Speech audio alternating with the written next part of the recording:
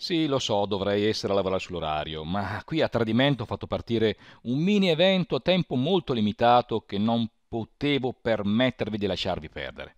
Intanto la parte più semplice, mettetevi da parte il codice che trovate sulla pagina del sito di Borderlands, questo, e che vi garantirà una bella chiave diamante io per inserire queste chiavi e riscattarle vado sempre sul sito shift.gearboxsoftware.com, si accede e poi c'è la sezione riscatto del codice, molto facile.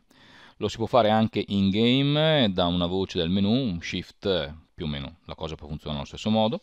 Questo è il codice per la chiave diamante e quello sopra invece garantisce alcuni elementi estetici, ciondolini, teste, cose del genere.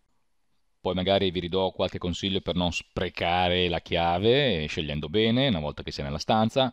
Qui non c'è da avere una super fretta. Avete tempo fino al 27 settembre. Occhio però allora che non corrisponde al nostro mezzogiorno, ma alle nostre 9 di mattina. Piccolo suggerimento. Qui dice che il codice può essere riscattato una volta sola per account shift. Beh, se ne può fare più di uno di account. Altro non dico. E adesso veniamo alla ciccia. Fino a domani alle 6 del pomeriggio avrete tempo, e vi assicuro che ci vogliono 15 minuti, per andare a farmare un fucile d'assalto fantastico, il Beka, che normalmente si può ottenere soltanto una volta per personaggio. Se una volta che ti sei bruciata la sfida di Hammerlock del eh, caccia leggendaria, eh, che prevede di andare a ammazzare un po' di bestie, ovviamente sui vari mondi, Basta, lo ottenete a 50, finito. Dovreste in teoria creare un secondo personaggio e rifare tutto. Nel caso non abbiate ancora completato la missione, quindi aspettate fino ad aver raggiunto il livello 72. Diversamente ora vi mostro un buon posto per andare a farmare il Beca.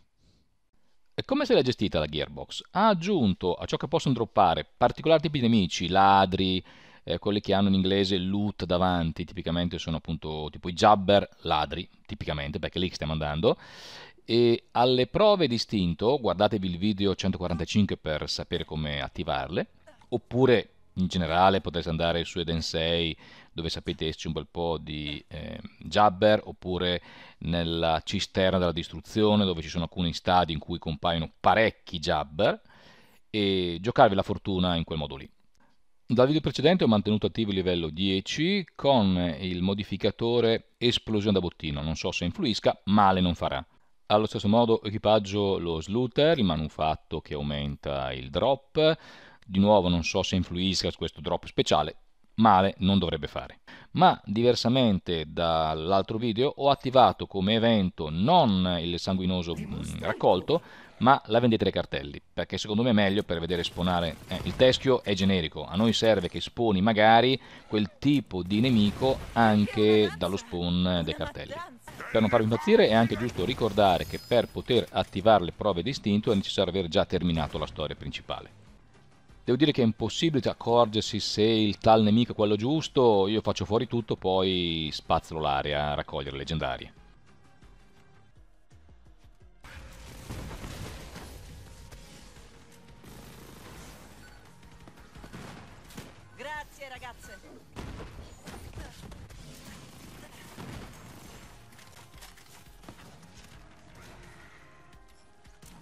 La mia impressione è che il tipo di nemico giusto compaia più facilmente nelle ultime aree, la seconda e la terza. Comunque i tipi dovreste riconoscerli perché hanno lo zainetto da saccheggiatori. Adesso qua ho rallentato il video appunto perché andando in stretta di fase su questo jabber incendiario, lì sulla sinistra ne ho acchiappato uno proprio del tipo giusto. E l'abbondanza del drop già fa capire che lì qualche cosina 43% danno abilità d'azione, uè, quando sono in osso di ferro. Aspetta, aspetta, che mi sembra di riconoscere quel qualche cosina si è rivelato essere un triplo drop di becca. Per cui dovrebbe essere abbastanza facile anche ottenere la consacrazione perfetta per il vostro personaggio, qualunque questo personaggio possa essere.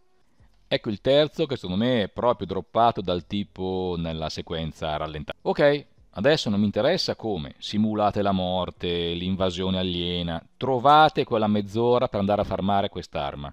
Non voglio scuse, nelle prossime, che saranno anche le ultime build, almeno per un po', quelle gioco base, a questo punto non ho mai usato il becca, ma lo farò, perché è davvero alla portata di tutti in questo modo. E io non disdegno poi di finire anche la, la mappa, perché c'è il boss finale che droppa bene, e in particolare il mod fantastico Cosmic Stalker per Flak. Ma con lo Slooter sempre qualcosa in più si trova. Bellface Zerker e...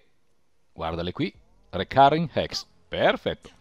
Infine, per non sprecare la chiave di diamante, o le chiavi di diamante, se ne avete ottenute più di una col trucchetto dell'account multiplo, beh, intanto si va, se non avete mai fatto, sul ponte della Sanctuary, o meglio, sotto, in fondo poi c'è una stanza, che porterà una colonnina dove giocarsi la chiave. Avrete 5 minuti. In quei 5 minuti potete scegliere saggiamente uno scudo, un'arma e un mod granate. Documentatevi, controllate la banca, cos'è che vi manca. E poi, a parità di altre cose, qual è l'oggetto da scegliere? Io andrei ad esempio su quelli che sono droppati dai boss eh, della strage guardiani o strage Maliwan, che magari avete difficoltà a completare. Armi che vengono come il Becca droppate una volta sola, oltre al Becca c'è anche ehm, l'Amber l'Ember Purge, Ember Purge. Nel dubbio, tanto può droppare soltanto chi l'ha aperta, non ha senso andare in split screen con un compagno. Mettete in pausa il gioco, anche il timer si fermerà e andate a controllare sul Legendary Sheet l'elenco, questa arma è buona, questa è, grama, perché ci sono anche delle schifezze, eh, comprese delle viola. Certo, tra le granate viola potete trovare, che so, io non l'ho mai trovate, le Cloning Maddening Tracker, come arma scelgo il Kick Charger da botte e bottino. Come scudo è meno peggio dal mio punto di vista per quello che ho già, il Plus Ultra. Come granate le Cloning Hunter Seeker. Occhio, perché alla fine vi sarà donato in modo casuale, anzi mica tanto casuale, ormai posso dirlo con certezza, una delle armi che sono in vendita dal distributore di Maurice. Ah, ultima chicca. Se ci andate potreste trovare alcune di quelle armi, come questa King's Call, gratis, cioè dove costerà 0 dollari acquistarlo. E questa cosa qui, questo regalino, fa sempre parte del mini evento che scade domani alle 6. Al farming allora, a risentirci.